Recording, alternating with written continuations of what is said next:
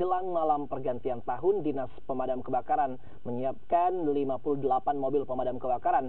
Mobil-mobil ini akan berjaga di 8 titik utama dan titik-titik rawan terjadi kebakaran, termasuk di Anjungan Pantelosari yang menjadi titik kumpul di malam tahun baru.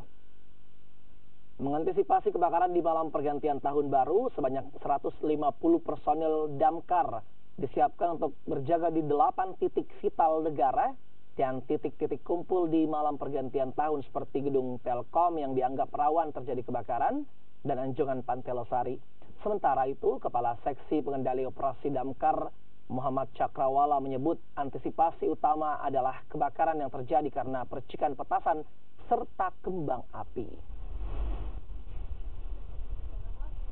Kesiapsiagaan kita itu adalah menempatkan beberapa lagi beberapa lagi uh, mobil pemadam kebakaran beberapa titik di Telkom, di Pasar Terong, di pelabuhan dan tersebar di seluruh Kelester.